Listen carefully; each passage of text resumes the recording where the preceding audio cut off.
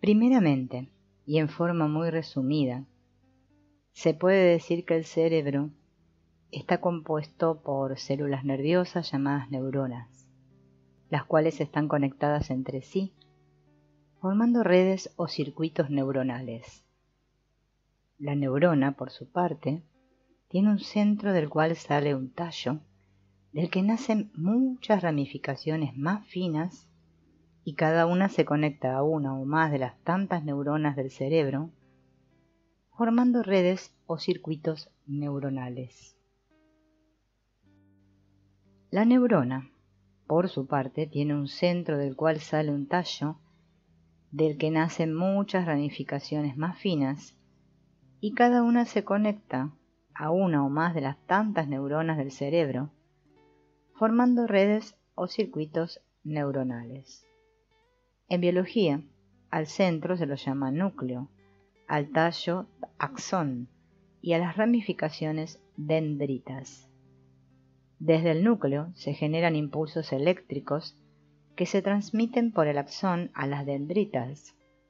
Estos impulsos eléctricos se inician una vez que la neurona recibe suficientes impulsos eléctricos desde las neuronas conectadas a ella.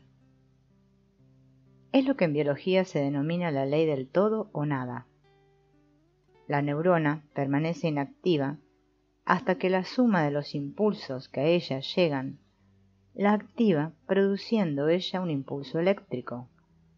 Luego queda inactiva hasta ser activada nuevamente por el agregado de los impulsos que recibe. Se puede decir entonces que la actividad cerebral no es más que una serie de impulsos eléctricos que se propagan por las neuronas que componen el cerebro. Funcionalmente, eso somos en esta vida, los impulsos que se propagan por el cerebro. Cuando ellos cesan, cesa también la vida de la persona, aunque el resto del cuerpo siga funcionando. Ahora que sabemos que funcionalmente somos la actividad de nuestro cerebro, Vamos a la siguiente pregunta. ¿Qué es la memoria? Esta es una pregunta de respuesta importante, ya que como personas somos nuestra memoria. Si perdiésemos la memoria, como ocurre por ejemplo en el caso del Alzheimer, dejaríamos de ser, al menos en los momentos en que la enfermedad no permite el recordar. Como funcionalmente somos nuestro cerebro, o más bien la actividad cerebral, la memoria debe estar en algún lugar del cerebro. ¿Pero dónde? En las células nerviosas, las neuronas, no puede haber memoria, ya que cada una de ellas es un simple conmutador de dos estados. Tiene apenas los estados de encendido y apagado, nada más. Veámoslo mediante una analogía. Comparémoslo con el computador o la computadora, el cual también funciona a base de conmutadores de dos estados, encendido y apagado. La computadora tiene un algo al cual se le dice memoria, la cual fácilmente se puede identificar ya que está en un determinado lugar físico de la máquina. Sin embargo, la memoria de la computadora es estática. Lo que se coloca en esa memoria queda allí inmutable a menos que la máquina misma lo cambie. Y cuando se necesita usar lo que allí está, simplemente se lee lo que fue guardado. Lugares de memoria en los cuales nada se ha colocado quedan en blanco o vacíos hasta que algo se coloque en ellos. En contraposición a esto, las computadoras de nuestro cerebro o los conmutadores, las neuronas, están en continuo cambio de estado. Por ello no logran guardar información como la memoria de la computadora, que es estática. Pero nuestro cerebro, de cierta forma, tiene un funcionamiento parecido a la computadora. Lo que nos va sucediendo se va guardando en el cerebro y al recordar ello se trae al consciente. La memoria de la computadora es estática.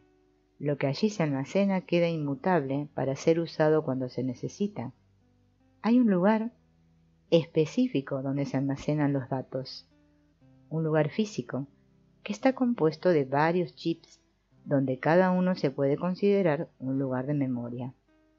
Pero en nuestro cerebro, primero, no hay lugares vacíos o en blanco,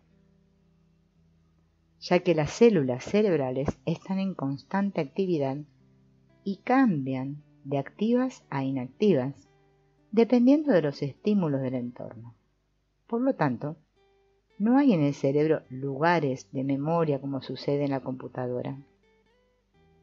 Entonces, ¿qué es la memoria si no hay unas células específicas que la contengan como sucede en la computadora? La analogía con la computadora entonces no es muy buena, ya que en realidad nuestra memoria no es estática, es dinámica. No es una foto como en el computador, es una película de una cierta duración, no nula, a veces muy corta, pero siempre con una duración que la hace moverse en el tiempo. Por ejemplo, si alguien nos preguntara, ¿te acordás de la tía? Juana, uno no ve una foto de la tía Juana. Ve a la tía Juana en cierta actividad que sucede en un lapso de tiempo, ya sea caminando por alguna vereda o comiendo un durazno o riéndose o hablando de política. El recuerdo, la memoria, nunca es una foto estática. Así podemos responder a la pregunta ¿qué es la memoria? La memoria humana es un algo que trae a la conciencia situaciones dinámicas, no estáticas, películas, no fotos. La pregunta obvia que ahora esta respuesta origina es ¿pero dónde está localizada la memoria si ella no se encuentra en la neurona en sí? Esta respuesta es bastante inquietante, ya que la memoria no está en ningún lugar específico. La clave está en la frase anterior, en el algo que trae a la conciencia. Esto es, los recuerdos y la memoria no están en ningún lugar físico específico, sino que se generan al ser convocados por algún estímulo externo, ya sea intencional, como querer recordar un cierto hecho del pasado, o involuntario, cuando por ejemplo un cierto aroma nos trae a la memoria una primavera de ayer. No es fácil encontrar una analogía exacta para esto.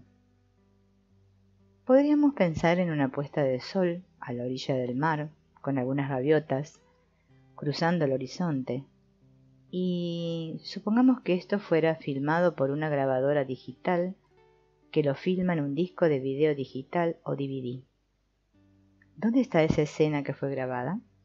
En realidad, ella no está en ningún lugar físico, sino que solamente se puede traer a la conciencia o a la realidad a través de una red electrónica específica, como es el aparato que transforma la señal digital del DVD en una imagen en el televisor, y esa imagen en el televisor es el recuerdo o la memoria que fue convocada por el estímulo que provino del DVD y enviado a una red concreta de fin bien determinado, la cual creó aquello que fue grabado. De una manera muy similar funciona la memoria humana. Recordemos que el cerebro es básicamente una red, en este caso una red de elementos nerviosos que se comunican por señales eléctricas. Cuando el cerebro recibe la señal externa como ¿te acordás de la tía Juana? Este responde creando el recuerdo de la tía Juana de una manera análoga a la forma en que se creó la escena de la puesta de sol. El cerebro crea el recuerdo activando un cierto circuito dentro de él que es donde está almacenado, entre otros recuerdos. El recuerdo de la tía Juana, de forma similar a como la puesta de sol está almacenada, entre otras posibles escenas, en el aparato reproductor de DVD. Es claro que la analogía se termina aquí, ya que en el caso del reproductor de DVD, todo el circuito está dedicado a esta tarea. Pero en el caso del cerebro, el circuito donde se guarda el recuerdo de la tía Juana no puede ser todo el cerebro, debido a que al mismo tiempo que se recuerda a la tía Juana, se está mirando a la persona que hace la pregunta, se está pestañeando, el corazón está latiendo, la presión sanguínea está dentro de ciertos límites, el riñón está filtrando fluidos y tantos otros procesos están sucediendo simultáneamente, todos controlados básicamente por el cerebro.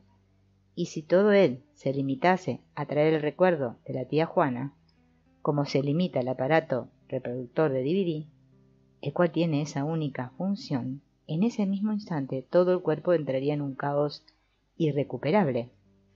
Así, en el cerebro hay un cierto conjunto relativamente pequeño de neuronas que forman una red que controla el corazón, otro pequeño conjunto de neuronas en red que controla la audición, y así, por delante, regiones del cerebro se especializan en tareas particulares para que en su conjunto pueda hacer funcionar la maravilla biológica que es nuestro cuerpo. De igual forma hay un pequeño conjunto de neuronas concertadas en red que cuando nos dicen la tía Juana se activan de una manera específica trayendo a la conciencia el recuerdo de la tía Juana. Pero, ¿dónde está la memoria?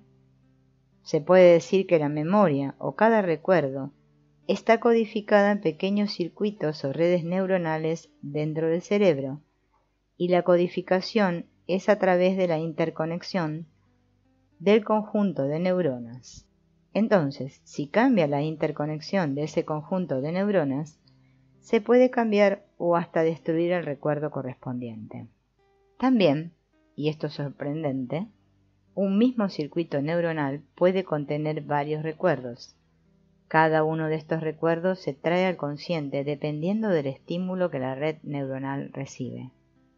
Diferentes estímulos a la misma red neuronal resultan en recuerdos distintos, tal vez relacionados, pero diferentes. De la misma forma que el mismo circuito de reproductor de DVD puede mostrar diversos escenarios respondiendo a distintas señales provenientes de discos grabados con situaciones diferentes. Si somos la suma de nuestros recuerdos y los recuerdos se van creando a medida que la persona va viviendo, entonces debemos ser consecuencia del entorno en el cual crecimos y de infantes de memoria virgen pasamos a ser individuos con características que nos definen solamente como reflejo de las experiencias de vida. A esto se lo llamó condicionamiento operante. Y hay científicos que defienden esta postura. Pero felizmente no es así. Las personas son lo que son en gran parte por los refuerzos e inhibiciones que impone el entorno, pero solo en gran parte. Hay otros factores que definen la personalidad de las personas. Las experiencias de vida nos forjan y nos hacen en parte ser lo que somos. Es decir, van programando dentro de nuestro cerebro redes neuronales que son las que componen nuestra personalidad y otras a las que llamamos recuerdos. Así, situaciones futuras gatillan algunas de estas redes, haciendo que nos comportemos de una cierta manera. Esto significa que una situación entristecedora provoca que en algunas neuronas de nuestro cerebro se conecten a una red que al activarse nos produce la tristeza que provocó la situación original. Y esta red se activa con el estímulo sensorial que recuerda el hecho, entristecedor. A estas redes neuronales que se forman de hechos tristes sin ser traumáticas, les podríamos llamar redes neuronales transitorias, ya que con el tiempo van perdiendo su estructura y aminorando las sensaciones que producen. Son redes que en el gran esquema de las cosas, aunque en su momento nos parezcan de una importancia fundamental, son irrelevantes y terminan desapareciendo con nosotros.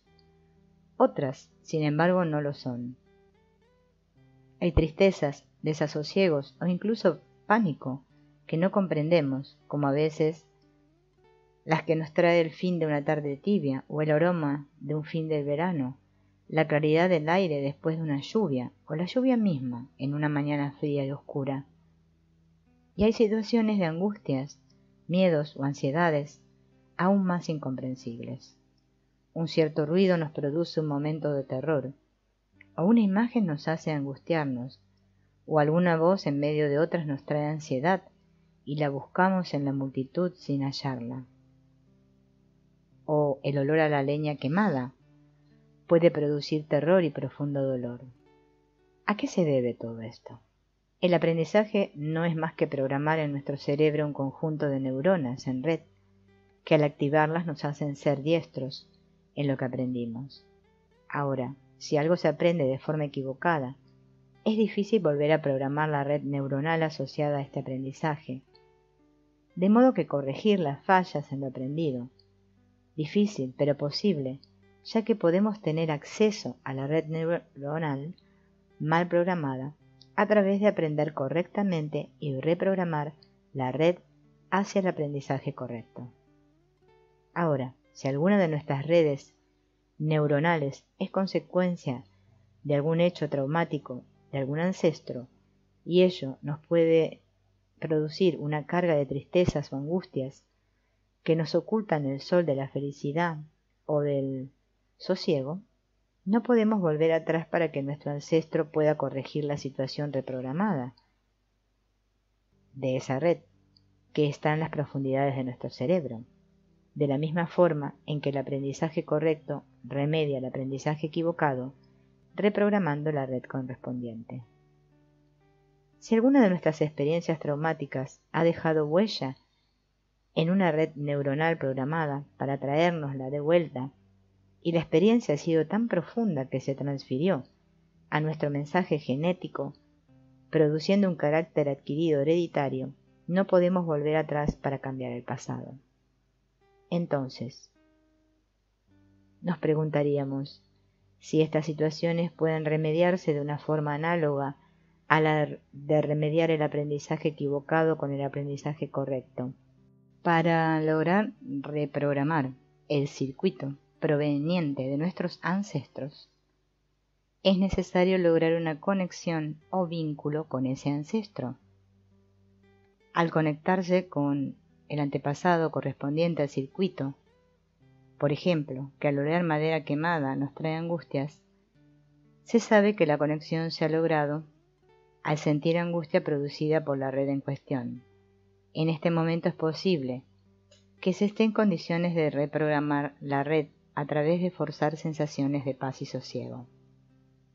La repetición de este proceso es lo que puede llevar a liberar al individuo de la carga emotiva asociada con esa red y llevar a que su activación produzca sosiego y no angustias. Esto sería reparar las cargas negativas provenientes de circuitos de toda nuestra clase ancestral. Para modificar el circuito proveniente de nuestros padres, el proceso es algo distinto, ya que es necesario primero aceptar a los padres por lo que son, sin querer que sean o que hayan sido distintos a lo que son o a lo que fueron. Esto se logra en parte volviendo a revivir los hechos traumáticos y forzando el sentimiento a cambiar de negativo a positivo, Así se logrará eventualmente reprogramar el circuito correspondiente a rencores o negatividad, de modo que éste ahora traiga sosiego a la persona en vez de angustias, que en vez de desconsuelo traiga alegría y en vez de odio genere amor. Y lo más importante y valedero a reprogramar este circuito es que también se eliminará esto en el mensaje genético como negatividad y así la persona no lo dejará como herencia a sus descendientes.